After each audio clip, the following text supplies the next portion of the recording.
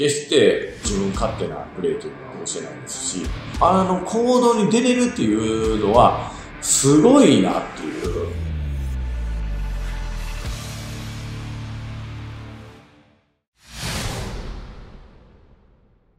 日本ハムの新監督に新庄剛志さんが就任しました。はい、タイガース時代に9年間一緒にプレーした檜山さんに期待のほどを伺います。あまあ正直びっくりはしましたけども、でも日本ハムならではだなという感じしますよね。もともと現役時代も、え、新庄剛志が新天地北海道日本ハムファイターズになってね、目玉の選手と、選手でこう、あのユニフォームを着て、あの、北の大地に優勝旗を持って、ね、チャンピオンフラグを持っていったので、今ちょっとね、日ハムがこう、低迷してるところに持ってこいの監督が来たのかなって、僕はちょっと期待感がすごくあってですね、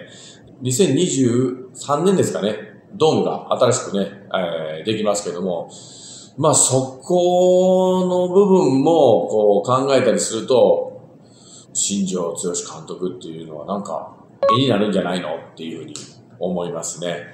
あとね、ちょっとまあ、じゃあどんな監督って言われて、こう不安視されるね、方々いるかもしれないですけど、まあ、記者会見でもやっぱりインパクトで残ったのが、新庄剛志監督は、優勝は一切目指しませんって言いましたけど、僕ね、あれもあいつらしいなっていう、あいつって言ったらあかんな、すいません。えー、監督ら、新庄監督らしいなっていうふうのがあって、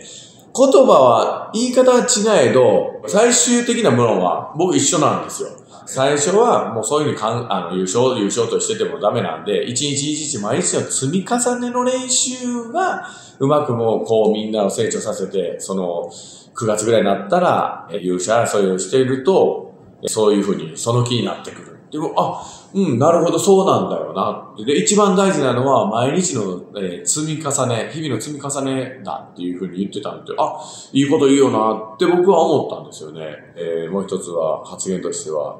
どんなにいい選手でも、怪我をすれば一般人って、なるほどなって、それって裏を返せば、そういう風にならないように自分たちは各自ちゃんと体のケアもしてしっかりと練習しておかないとただのひどになるよ、えー、試合に出れないよっていうことを言ってるのでまあそこってプロなんじゃないっていうふうに思ったりもしますよね。今は監督が目立ってますけどもうそれは大事であって逆に監督が最初は目立つかもしれないですけども、それに対してお客さんやマスコミが来る。でマスコミが来るとなると、選手たちは人が多いので見られてる感がすごくできて、なんか緊張感のある練習になるんですよね。で、そこで、こう、例えば若い女の子やいろんなせ、あの、まあ、少年野球の子供たちとか来たりすると、あ、あの選手かっこいい。もともとは新庄監督見に来たのに、選手を見ていて、あ、あの選手かっこいいな。あの選手よく打つな。あの選手守備うまいなってなると、注目度が結局、最終的には、えー、そっちの方に行くんですよね。で、今度試合になると、監督がベンチに引っ込むので、グラウンドに出ている選手を見ることになるんですよ。そうなると、そのプレーで、あの、秀でたところが出たりすると、また注目度も集まるしっていうところなので、最初の部分では監督が目立っても、最終的にはそうやって注目される選手が数多く、スター選手が出てきてくれれば、僕はまあ、よしなんじゃないのというふうに思いますし、あと新庄、えー、強しっていうのは現役時代は、まあ、バッティングも良かったですけども、僕は守備の人っていう、まあ本人もその自負はすごくあってですね、守備は人に迷惑かかるんですよね。一生懸命投げてるピッチャー、あとはもうキャッチャー、えー、最大数キャッチャーやチームになるんで、そのに対して新庄剛志はセンターを守ってて、すごくこうチームのためにどうすればいいかっていうのをこう、一生懸命考えた守備をこうしていたので、決してプレーに関してはその、自分勝手なプレーというのは全くしてないですし、チームプレー、チームを勝つためにはどうしたらいいかというのを考えた選手なんですよね。で、こう、バッティングっていうふうに言えば、ただ単にブンブン振り回してるではなくだけではなくて、時には調子悪かったら、クリーンアップ打ってても自分でセーフティバントして、こう、チームがなんとか勝てるように次のバッターに、いかに、こう、つなげられるようにということを考えて、そういう犠牲心も働いたりとかする選手だったんで、本当にこう、目立ったパフォーマンスはしてましたけども、結果的にはチームが勝つためっていうことを考えてた選手だったんで、僕はもう、すごく期待しました。ただ、現状の日ハムの戦力というのが、ちょっと他のパリーグ5チームに比べると、落ちるのかな、戦力ダウンしてるのなっていうのが感じるので、今すぐ勝つ、優勝できるというのは、ちょっと難しいかなと。阪神時代は3番新庄さん、4番檜山さんといましたけど、はい、いやー、まあ、暗黒時代だったんでね、なかなかチャンスがないチームをファンの方々はメガホン持って応援に来られてですね、えー、1試合に1回あるかないかぐらいのチャンス、えー、やっと来たチャンスを3番新庄、4番檜山、その反対の3番檜山、4番新庄が連続三振で終わって、せっかくのチャンス、メガホン叩いてたのに三振で終わって、そのまま外野のポジション行って、えー、ライトのね、まあ、スタンドの方からこう、強烈なヤジを浴びてっていうところでは、もう二人とも精神的には強くなりましたし、えそういった部分で打たれ強いじゃないかなというふうに思いますね。でも、その中でも、お互いですけども少ないチャンスでまた打ったりもしてましたし、その、今度はよくやったよっていうお褒めのあの、新庄コール、檜山コールっていうのはやっぱり忘れられないんでね、あの、言ってもらえるためにこう、頑張ってたっていうのがあるんで、もうそこですよね。自分自身の励みにお互いなってたのはね。はい。まあでも、お互いよく三振しましたね。僕の方がよく三振してましたけどね。守備に関してはすごくありましたね。ベンチの指示を仰いで守備位置の移動というのはほとんどなかったですね。分とこのチームのピッチャーの出来と、バッターのそのスイングとかそういう、あとは相手の作戦面とかを考えて、こう、守備位置を移動とか、一球一球変えたりしてましたし、まあ僕はライトだったんで、右にいる心情ですよね。動くのがわかるので、それに対して自分もたりとか、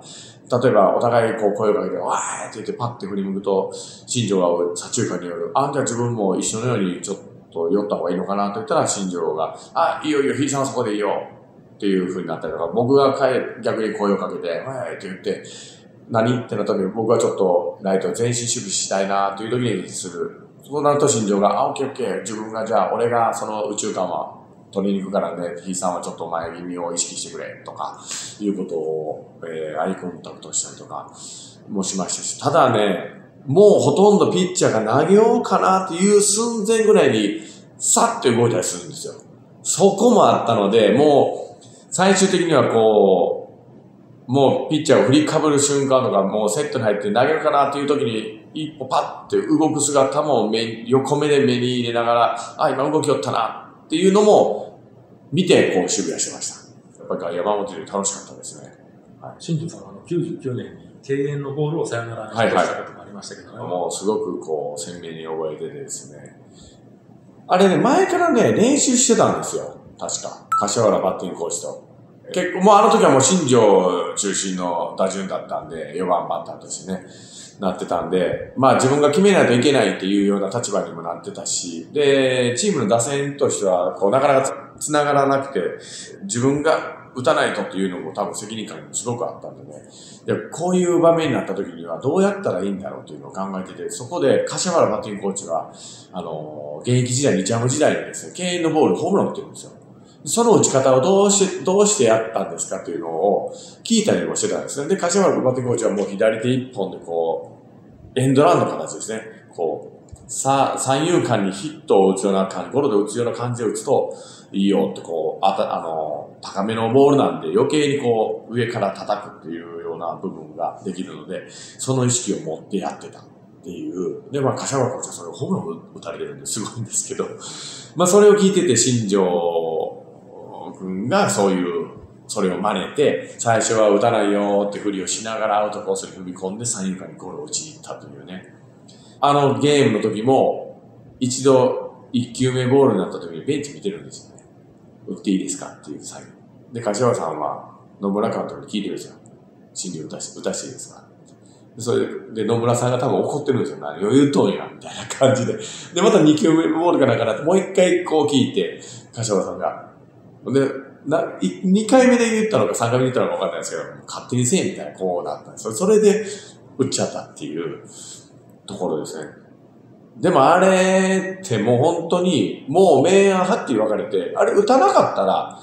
もう、こっぴどく、こう、まあ、マスコミも含め、チームもそうだしね、監督もそうだし、もう、叩かれるんですよ。それも、分かってて、それを成し遂げるって、そこで成功したっていうのも素晴らしいです。これ失敗した時のことも自分は絶対頭に入ってたと思うんですそれも自分が責任を負うっていうところで、あれを、あの行動に出れるっていうのは、すごいなっていう、っていうふうに思いますね。精神的な強さは、すごくあると思いますね。もうその時点で僕は、結果どうあれ、あっぱれだったと思うんですよ。それをでも、最高の形で残したんだから、まあすごいですよね。これだけ言わないとですね、あの、新庄剛志の型ね。まあ結構いろんなところで僕言ってますけど、あの肩の強さは僕今までのプロ野球選手見たことないです。それこそ素晴らしい外野手いっぱい見てきましたけど、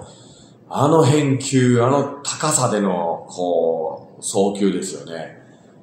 とんでもないですね。えー、シートノックでお金を取れる選手ですね。えー、普段はね、外野手っていうのはワンバンで外、あの、例えばサードスローやバックホームというのは投げるっていうのが鉄則でですね、えー、それをどうしてかというと、ノーバンで投げるとどうしても高く投げる、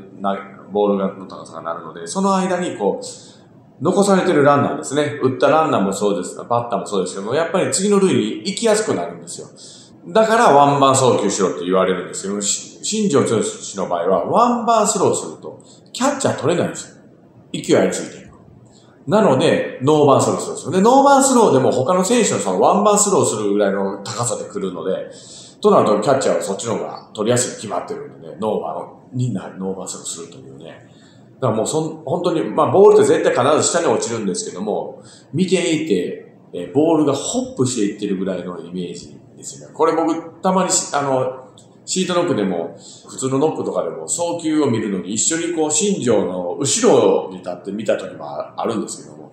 とんでもないボールを後ろ、こうなんか、投げてましたね。あれが本当に矢のような送球って言うんだろうな、という、なんか、惚れ惚れするような、見とれるというか、そんな感じの送球でしたね。で、これはやっちゃダメなんですよ。ランナーセカンドで、えー、外野っていうのは、外野のところにゴロが飛んできた。そうすると、サードのランナーコーチはその外野手のチャージを含めて、チャージとあと外、その時の外野手の持っている肩の強さや、走者の足の脚力を見てですね、大体ストップをかけるっていうところに外野手は、まず、守備位置守るんですよ。彼の場合は、センター、センター前ヒットになった時にわざとちょっとね、スタートを遅らせて、で、サードランナーコーチが、あ、これいけるな、いくら真珠の方でもっていう形で回すんですよ、ホームに。それを回らせてから、わざとホームでアウトにするというね。これやっちゃダメなんですよ、本当は。止めるのが仕事なんですけども、それを新庄剛志の場合は、ランナーコーチに回させてホームでアウトにするというね。これは大冒険すぎて、それこそ経営のボールじゃないですけども、失敗したらもうすごく叩かれるんですけども、でもアウトにすればいいんでしょう。その方がチェンジになるじゃないですか。とかいうことをやってのけるという、まあちょっと違った発想力っていうのがあるんで、その部分もなんか面白かったですね。あ、もう一つですね。えー、肩だけではないです。足ですね。脚力は、どちらかというと、盗塁は僕は苦手だったような気がします。ただ、バッターが打ってですね、まあランナー一塁でもいいですけども、こう、三塁打になるとか、ホームまで帰るっていう時の、あの足の速さは見ていて、おーってなるような。普通の足の速い選手、盗塁数が多い選手はもう最初からトップスタートでもう速いんですけど、新庄剛志の場合は、徐々に速くなっていくという、カモシカのような、こう、感じなので、見ていると、一塁ベース回って、セカンドベース回って、こう、さあ、抜いに行くぞっていう時の足の、その、上がっていく、その、なんか、走力というかね、走り方が、すごくこう、速くなってるなーっていう感じがします。なんか僕、新庄に惚れすぎてる部分はあるかもしれないですけどね、それぐらい本当にね、魅力のある選手でした。あの、身体能力、能力が抜群で、はい。いい選手でしたね。あ、これがザ・プロなんだ。あります。まあ、そんな選手がまたユニフォームをね、えー、着て、監督として変えてくるんで、まあ、パフォーマンスとしては、えー、選手じゃなく監督なんですけども、まあ、どういうような野球をするかっていう、見て、こう、選手たちを指導するような形となってね、どんな風になるのかっていうのは、すごく楽しみなんで、嬉しいですね。来週楽しくなります。期待してますよ。